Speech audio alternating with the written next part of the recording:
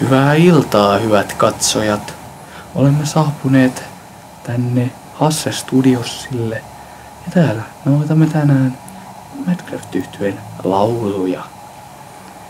Laitteistona meillä toimii Röden MT1 mikrofoni sekä Wind Shield sekä tämmönen MacBook tietokone.